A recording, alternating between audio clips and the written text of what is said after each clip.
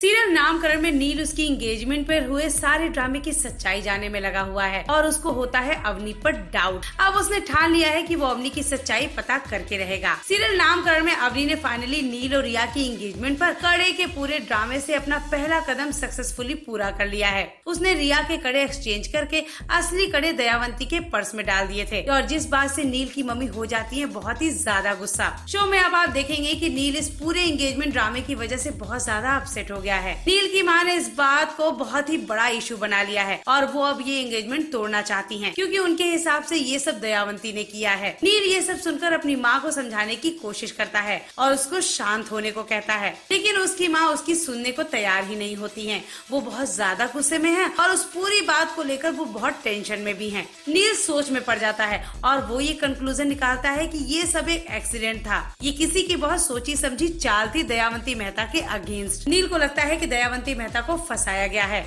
नील का सबसे पहले ध्यान जाता है अवनी पर कि वो घर की मेंबर नहीं है और एक आउटसाइडर है। इसीलिए नील करता है डिसाइड कि वो अब अवनी के मेहता परिवार के रिश्ते के बारे में सब पता लगा के रहेगा। इसीलिए नील अब अवनी के अतीत के बारे में जानने की कोशिश करेगा कि आखिर उसके मेहता परिवार से क्या रिश्ते हैं। अब देखते हैं कि क्या नील अवनी और दयावंती मेहता के रिश्ते की सच्चाई पता लगा पाएगा या नहीं। पहले शो से जुड़ी सारी अपडेट्स जानने के लिए प्लीज़ सब्सक्राइब अस